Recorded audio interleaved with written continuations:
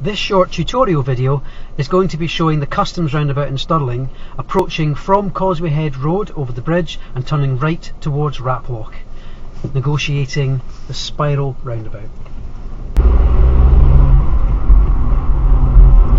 So we can see the roundabout sign and we're going to be turning right following the directions to Perth and Crianlarich.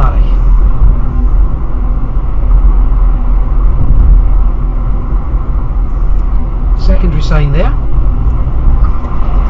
Setting ourselves up for the roundabout, taking a right hand lane approach.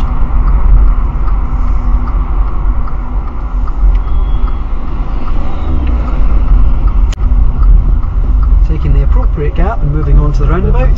Now as we come round the roundabout, checking the mirrors, moving across to the left